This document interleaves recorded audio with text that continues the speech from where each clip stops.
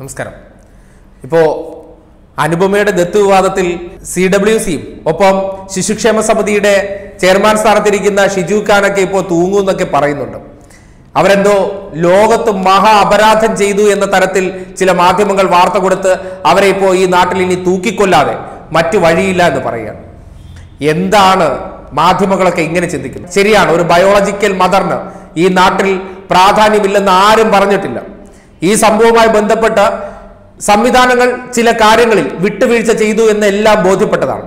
പക്ഷേ ഇവിടെ ഇടതുപക്ഷ സർക്കാർ അധികാരത്തിൽ ഇരിക്കുന്നത് കൊണ്ടും പോരാത്തതിന് ഇത്തരം സി ഡബ്ല്യു സിയും ശിശുക്ഷേമ സമിതി പോലുള്ള പല ബോർഡുകളിലും ഇടതുപക്ഷ അനുഭാവികളോ അല്ലെങ്കിൽ ഇടതുപക്ഷത്തു നിന്നുള്ള നേതാക്കന്മാരോ ഒക്കെ പദവി വഹിക്കുന്നതാണ് ചില കോണുകളിൽ വലിയ പ്രശ്നമായി മാറിയിരിക്കുന്നത്. അനുപമയുടെ അച്ഛനായ ജയചന്ദ്രന്റെ രാഷ്ട്രീയം ഇടതുപക്ഷ സർക്കാരിന്റെ മുഖ്യമന്ത്രിയായ പിണറായി വിജയൻ ശിശുക്ഷേമ സമിതിയിലെ ഷിജു ഖാൻ.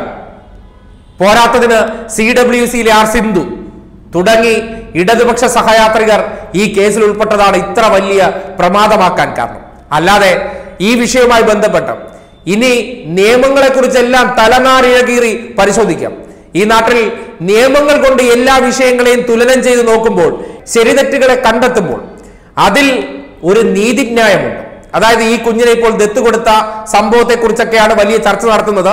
അത് സംബന്ധിച്ച റിപ്പോർട്ട് പുറത്തു വന്നപ്പോൾ മനസ്സിലാക്കുന്നത് അതായത് സാമൂഹ്യക്ഷേമ വകുപ്പ് ഡയറക്ടറായിട്ടുള്ള അനുപമ നൽകിയിട്ടുള്ള റിപ്പോർട്ടിന്റെ അടിസ്ഥാനത്തിൽ മനസ്സിലാക്കുകയാണെങ്കിൽ ഈ വിഷയത്തിൽ ഷിജു ഖാനും സി ഡബ്ല്യു സിയുടെ ചെയർപേഴ്സണുമാണ് വലിയ വീഴ്ചകൾ സംഭവിച്ചിട്ടുണ്ട് എന്ന് റിപ്പോർട്ടിൽ പറയുന്നുണ്ട്. അനുപമയുടെ പരാതി വേണ്ടത്ര രീതിയിൽ അവർ കൈകാര്യം ചെയ്തില്ല. അല്ലെങ്കിൽ കുഞ്ഞിനെ തിരഞ്ഞു നടക്കുന്ന കാര്യങ്ങളൊക്കെ അറിഞ്ഞിട്ട് അവർ ദത്ത് നടപടികളുമായി മുന്നോട്ട് പോയി. ഇതിനെല്ലാത്തിനും കാരണക്കാർ സർക്കാരും ശിശുക്ഷേമ സമിതിയും ഷിജു ഖാനും ഒപ്പം സി ഡബ്ല്യു സി ആണെന്നൊക്കെ അവർ അങ്ങ് തീരുമാനത്തിൽ എത്തിക്കഴിഞ്ഞു റിപ്പോർട്ട് ഇപ്പോൾ വന്നതിന്റെ അടിസ്ഥാനത്തിൽ ഇവരെ എല്ലാം തൂക്കിക്കൊല്ലും ഇവരുടെ കുരുക്ക് മുറുകും എന്നൊക്കെയാണ് പറയുന്നത്. എന്തോന്ന് കുരുക്ക് മുറുകൻ? കുറച്ചു കാലമായി സ്വപ്ന സുരേഷിന്റെയും കെ ടി ജലീലിന്റെയും അതുപോലുള്ള നിരവധി പേരെ കുരുക്കുമുറുക്കിയിട്ട് എന്താണ് മാധ്യമങ്ങൾ ഏറ്റവും അവസാനം അവർക്ക് ജാമ്യം കിട്ടിയപ്പോൾ വായ് തുറക്കുന്നില്ല. ഇതൊക്കെ പിണറായി എഫക്റ്റിലാണോ? സ്വപ്ന സുരേഷും ഇപ്പോൾ കഴിഞ്ഞ ദിവസം ഇതുമായി ബന്ധപ്പെട്ട് എല്ലാവരും നയതന്ത്ര സ്വർണക്കടത്തുമായി ബന്ധപ്പെട്ട് മുഴുവൻ പേരും പുറത്തു പോയിട്ടുണ്ട്. ഈ കേസുമായി ബന്ധപ്പെട്ട് ഏത് കോടതിയിൽ ചെന്ന് കഴിഞ്ഞാൽ ഇതിൽ ഒരു പിതാവിന്റെയും ഒരു മാതാവിന്റെയും രണ്ട് രക്ഷിതാക്കളുടെയൊക്കെ മനോനില അല്ലെങ്കിൽ അവർ എന്തുകൊണ്ട് ഇത് ചെയ്യേണ്ടി വന്നു എന്നത് സംബന്ധിച്ച് ചില പ്രിവിലേജുകൾ കിട്ടാതിരിക്കത്തില്ല. നിയമമുണ്ട് ശരിയാണ് ഇങ്ങനെയൊക്കെ ചെയ്യാൻ പറ്റുമെന്നുള്ള പക്ഷേ ഈ നാട്ടിൽ സകലമാന കേസുകളും ഇങ്ങനെയൊന്നുമല്ല നടക്കുന്നത്. എന്തുകൊണ്ട് ഇങ്ങനെ ചെയ്യേണ്ടി വന്നു എന്ന് പറഞ്ഞാൽ ഒരു കുടുംബത്തിന്റെ ഒരു സമയത്തെ പ്രതിസന്ധി അതിജീവിക്കാൻ. അതിന് അവർ ചില വിട്ടുവീഴ്ചകൾ ചെയ്തു കൊടുത്തു. അതിൽ അദ്ദേഹത്തിന് പാർട്ടി ബന്ധമുണ്ടായതുകൊണ്ടാണ് അത് ചെയ്തു കൊടുത്തു എന്നുള്ള വസ്തുതയെല്ലാം അവിടെ നിൽക്കട്ടെ. വാർത്തകൾക്ക് മാർക്കറ്റ് കിട്ടുമ്പോൾ ഇതൊക്കെ ഈ നാട്ടിൽ നടന്നാൽ അല്ലെങ്കിൽ ഇനിയും ഇനിയും നടക്കണമെന്ന് പറഞ്ഞു വെക്കുമ്പോൾ എങ്ങോട്ടേക്കാണ് ഈ സമൂഹത്തെ കൊണ്ടുപോകുന്നത് ഷിജു ഖാനൊക്കെ ചെയ്തത് ഒരു പക്ഷേ ആ സന്ദർഭത്തിൽ ഒരു പിതാവിന്റെ സങ്കടം കണ്ടിട്ടായിരിക്കണം.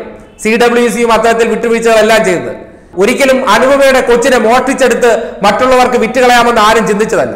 അവരുടെ മുന്നിലേക്ക് ആവലാതിയും പറഞ്ഞൊരു പിതാവും മാതാവും ചെല്ലുമ്പോൾ ശരിയാണ് അവരുടെ ദുഃഖവും സങ്കടവും ആ വീടിനുണ്ടായിപ്പോയ ഒരു ദുരഭിമാനവും മനസ്സിലാക്കി. അവരെ സഹായിക്കാൻ തയ്യാറായി.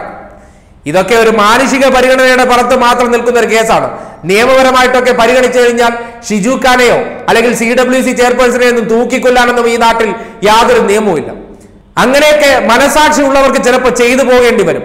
ഏതെങ്കിലുമൊക്കെ വീട്ടിൽ സംഭവിച്ചു പോയി അറിയാവുന്നവർക്ക് സംഭവിച്ചു പോയി. ഇപ്പോ കുഴപ്പമില്ല. എല്ലാം ശരിയായ രീതിയിലാണ്.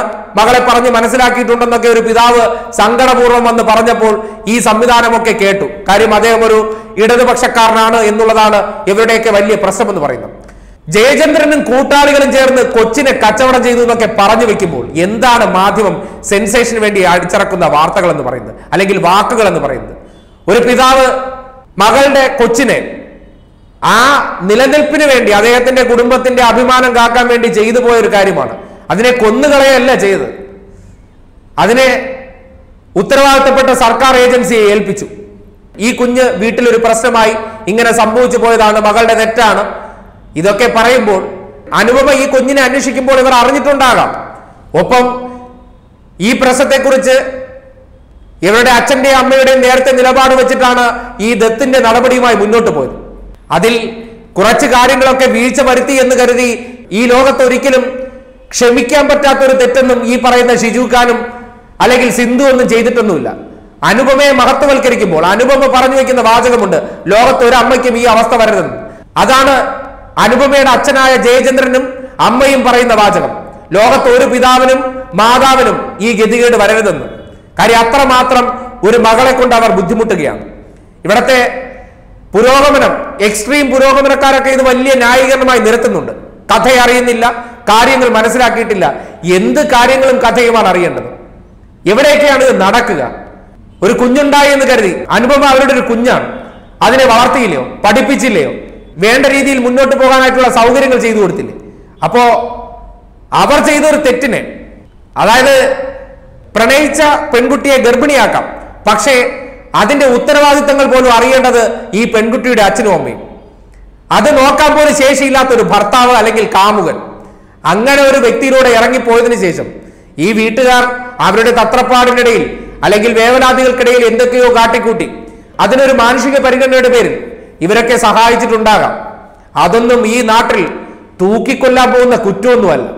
ഇങ്ങനെയൊക്കെ ചെയ്തു പോകും. ഏറ്റവും അടുപ്പപ്പെട്ടവർ വേണ്ടപ്പെട്ടവർ ചിലപ്പോൾ പാർട്ടിക്കാർ പാർട്ടിയുടെ വലിയൊരു കുടുംബം എന്ന് കരുതി ഇത് മറ്റുള്ളവരുടെ വീട്ടിൽ സംഭവിക്കുമ്പോൾ അതിനെയും ഈ രീതിയിലൊക്കെ നിങ്ങൾ കൈകാര്യം ചെയ്ത് കാട്ടണം.